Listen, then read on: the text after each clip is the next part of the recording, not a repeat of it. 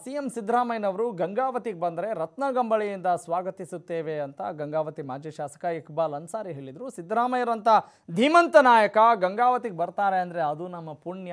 ಅವರಿಗೆ ಸ್ಥಾನ ಬಿಟ್ಟುಕೊಡ್ತೀನಿ. ಇಲ್ಲಿಂದ ಸ್ಪರ್ಧೆ ಮಾಡಿದರೆ ಖಂಡಿತವಾಗಿಯೂ ಅತಿ ಹೆಚ್ಚು ಮತಗಳಿಂದ ಸಿದ್ದರಾಮಯ್ಯ ಅವರನ್ನು ಗೆಲ್ಲಿಸ್ತೀವಿ. ನನ್ನ ಸ್ಪರ್ಧೆಗಿಂತ ನಮ್ಮ ನಾಯಕರು ಬರ್ತಾರೆ ಅಂದರೆ ಅದು ನನ್ನ ಸೌಭಾಗ್ಯ. ನಾವು ಹಗಲು ರಾತ್ರಿ ಶ್ರಮಿಸಿ ಮುಖ್ಯಮಂತ್ರಿಗಳನ್ನು ಗೆಲ್ಲಿಸ್ತೀವಿ ಅಂತ ಹೇಳಿದ್ದಾರೆ.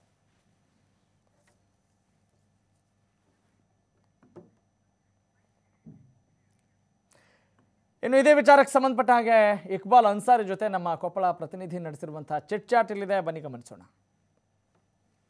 ರಾಜ್ಯದಲ್ಲಿ ವಿಧಾನಸಭೆ ಚುನಾವಣೆ ಹತ್ರ ಹೋಗ್ತದೆ. ಹಾಗಾಗಿ ಇವತ್ತು ಘಟಾನುಘಟಿ ಇವತ್ತು ಏನು ಸಿ, ಮಾಜಿ ಸಿಎಂ ಇರುವುದು ಇವತ್ತು ಬೇರೆ ಬೇರೆ ಕ್ಷೇತ್ರವನ್ನು ಆಯ್ಕೆ ಮಾಡಿರುವಂಥದ್ದು. ಯಥಾವತ್ತು ಬೆಂಗಳೂರು ಕ್ಷೇತ್ರದ ಮಾಜಿ ಶಾಸಕರು ಅದರ ರೀತಿಯಾಗಿ ಕಾಂಗ್ರೆಸ್ನ ಅಂತ ಶಾಸಕ, ಮಾಜಿ ಶಾಸಕ ಇಪ್ಪಲ್ ಅನ್ಸರ್ ಜೊತೆಗಿದ್ದಾರೆ ಯಾವ ರೀತಿ ಈಗ ಸಿದ್ದರಾಮಯ್ಯ ಈ ಕಡೆ ಬಂದರೆ ಯಾವ ರೀತಿ ಸ್ವಾಗತ ಮಾಡ್ತಾರೆ ಮತ್ತು ಯಾವ ರೀತಿ ಪ್ರತಿಕ್ರಿಯೆ ಸಹ ಅವರನ್ನ ಕೇಳಬನ್ನಿ ಸರ್, ಈಗ ಇನ್ನು ಸೇಮ್ ಅವರು ಈ ಕಡೆ ಗಂಗಾಧರ ಕ್ಷೇತ್ರ ಕಡೆ ಮುಖ ಮಾಡುವಂಥ ಮಾಹಿತಿ ಸಿಗ್ತದೆ. ಈ ಬಗ್ಗೆ ತಾವು ನೋಡ್ತೀವಿ ಸರ್? ಅದೇ ಮಾನ ಮುಖ್ಯಮಂತ್ರಿ ಸಿದ್ದರಾಮಯ್ಯನವರು ಇಂಟೆಲಿಜೆನ್ಸಿ ರಿಪೋರ್ಟ್ ಪ್ರಕಾರ ನಾವು ಸಹಿತ ಇವತ್ತು ಮಾಧ್ಯಮದ ಮೂಲಕ ನಮ್ಮ ಗಮನಕ್ಕೆ ಬಂದಿದೆ. ಅವರು ಈ ಭಾಗದಲ್ಲಿ ಗಂಗಾವತಿಯಲ್ಲಿ ಬಂದರೆ ನಾವು ಸ್ವಾಗತ ಮಾಡುತ್ತೇವೆ. ಮತ್ತು ಅವರಿಗೆ ನಾವು ಸ್ಥಾನವನ್ನು ಬಿಟ್ಟುಕೊಟ್ಟು ಅವರೇ ಇಲ್ಲಿ ಸ್ಪರ್ಧೆ ಮಾಡಿ, ಅವರಿಗೆ ಹಗಲು ರಾತ್ರಿ ದುಡಿದು ಜಯಗಳಿಸಿ ನಾವು ಬಹಳ ಅದೃಷ್ಟವಂತರಾಗುತ್ತೇವೆ. ಯಾಕಂದರೆ ಅಂಥ ಒಂದು ದೊಡ್ಡ ನಾಯಕರು ಇವತ್ತು ರಾಜ್ಯದಲ್ಲೇನೋ ದೇಶದಲ್ಲಿ ಸಹಿತ ಹೆಸರು ಮಾಡಿರ್ತಕ್ಕಂಥ ಮುಖ್ಯಮಂತ್ರಿ ಸಿದ್ದರಾಮಯ್ಯನವರು ತಮ್ಮ ಆಡಳಿತದ ಅವಧಿಯಲ್ಲಿ. ನಮ್ಮ ಭಾಗದಲ್ಲಿರ್ತಕ್ಕಂಥ ಜ್ವಾಲಾಂತ ಸಮಸ್ಯೆಗಳಿಗೆ ಇಲ್ಲಿಂದ ಸ್ಪರ್ಧೆ ಮಾಡಿ ಅವರು. ಮುಂದಿನ ದಿನಗಳಲ್ಲಿ ಖಂಡಿತವಾಗಲೂ ಕಾಂಗ್ರೆಸ್ ಪಕ್ಷ ಅಧಿಕಾರಕ್ಕೆ ಬರುತ್ತದೆ, ಅವರು ಮುಖ್ಯಮಂತ್ರಿ ಆಗೇ ಆಗ್ತಾರೆ. ಆ ಸಂದರ್ಭದಲ್ಲಿ ಇವತ್ತು ದುಡ್ಡು ಎಷ್ಟು ಬೇಕಷ್ಟು ಅನುದಾನ ಹೊರತು ಬರಲಿಕ್ಕೆ ಸಾಧ್ಯವಾಗುತ್ತದೆ. ನಮ್ಮ ಉದ್ದೇಶ ಸಹಿತ ಏನು? ಅಭಿವೃದ್ಧಿ. ಹಾಗಾಗಿ ಈ ಭಾಗದ ರೈತರ ಸಮಸ್ಯೆ ಆಗಲಿ ಮಹಿಳೆಯರಿಗೆ ದುಡಿಯುವ ಸಮಸ್ಯೆ ಆಗಲಿ ಇವತ್ತು ವಿದ್ಯಾವಂತ ಯುವಕರಿಗೆ ಉದ್ಯೋಗ ಇಲ್ಲ ಉದ್ಯೋಗದ ಸಮಸ್ಯೆ ಆಗಲಿ ಇವೆಲ್ಲವೂ ನಿವಾರಣೆ ಆಗ್ತದೆ. ಸರ್ ಯಾಕಂದ್ರೆ ಸ್ವತಃ ತಾವು ಕೂಡ ಕಾಂಗ್ರೆಸ್ನ ಅಭ್ಯರ್ಥಿ.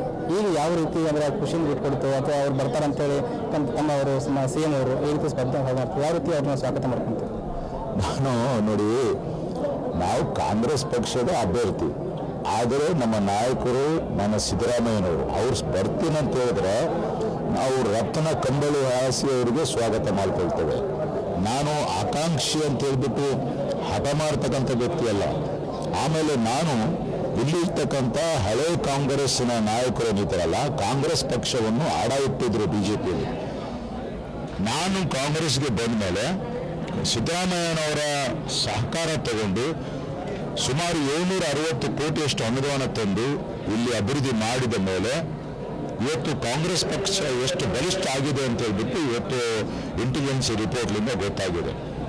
ಯಾರು ಹಳೆ ಕಾಂಗ್ರೆಸ್ಗರು ಅಂತ ಹೇಳ್ತಿದ್ರು, ಇವತ್ತು ಜೆ ಡಿ ಎಸ್ಗೆ ಪಲಾಯನ ಆಗಿದ್ದಾರೆ, ಅವರು ಬಿ ಜೆ ಪಿಗೆ ಈ ಪಕ್ಷ ಗಿರಿವಿಯಾಗಿಟ್ಟಿದ್ರು ಇವತ್ತು ಆ ಪಕ್ಷವನ್ನು ಬಿಡಿಸ್ಕೊಂಡು ನಾವು ಪುನಃ ಸ್ವತಃ ಕಟ್ಟಿದ್ದೀವಿ ಸ್ಟ್ರಾಂಗ್ ಆಗಿದೆ. ಹಾಗಾಗಿ ನಾನು ಮಾನ್ಯ ಮುಖ್ಯಮಂತ್ರಿಯಲ್ಲಿ ಸಹಿತ ಮಾಧ್ಯಮ ಮುಖಾಂತರ ಮನವಿ ಮಾಡ್ಕೊತೀನಿ. ದಯಮಾಡಿ ತಾವು ಬಂದು ಈ ಭಾಗದಲ್ಲಿ ಸ್ಪರ್ಧೆ ಮಾಡಿ. ನಾವೆಲ್ಲರೂ ನಮಗೋಸ್ಕರ ಎಲ್ಲ ಸಮಾಜದವರು ಹಗಲು ರಾತ್ರಿ ದುಡಿದು ಶ್ರಮಪಟ್ಟು ತಮಗೆ ಜಯಗಳಿಸ್ತೀವಿ ಸರ್ಕಾರ ಬರುತ್ತೆ, ತಾವು ಮುಖ್ಯಮಂತ್ರಿ ಆಗೇ ಆಗ್ತೀರಿ. ಈ ಭಾಗದ ಜನಗಳಿಗೆ ನಮಗೆ ಅಭಿವೃದ್ಧಿ ಬೇಕು. ಒಂದು ಲಕ್ಷ ತೊಂಬತ್ತು ಸಾವಿರ ಮತದಾರರಿದ್ದಾರೆ. ಒಂದು ಲಕ್ಷ ತೊಂಬತ್ತು ಸಾವಿರ. ಅದರಲ್ಲಿ ಒಂದು ಎಪ್ಪತ್ತು ಎರಡು ಅಥವಾ ಎಪ್ಪತ್ನಾಲ್ಕು, ಎಪ್ಪತ್ತಾರು ಪರ್ಸೆಂಟ್ ವೋಟಿಂಗಿನ ಪರ್ಸೆಂಟೇಜ್ ಸರಿಸಮಾನ ಆಗ್ತಿರ್ತದೆ.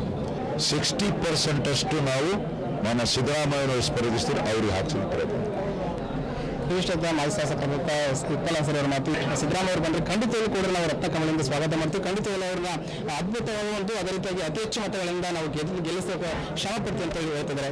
ಇವಿಷ್ಟು ಏನಂದ್ರೆ ಮಾಜಿ ಶಾಸಕರ ಮೇಲೆ ಅವರ ಮಾತು. ಕ್ಯಾಮರಾ ಪರ್ಸನ್ ಪ್ರಕಾಶ್ ಬಂಡ್ಕರ್ ಜೊತೆ ನಾಗರಾಜ್ ಟಿ ಫೈವ್ ಕೊಪ್ಪ.